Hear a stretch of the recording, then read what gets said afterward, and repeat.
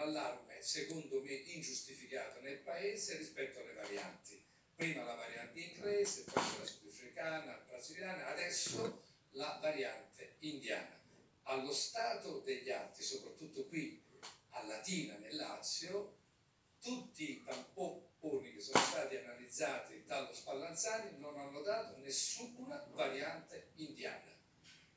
Dopodiché la stessa variante allo stato degli atti scientifici, compresa questa indiana, non è né maggiormente patogenica né assolutamente più contagiosa. Ma quello che è più importante dire è che tutti i vaccini oggi a nostra disposizione sembrano efficaci nella copertura delle varianti, compresa quella indiana.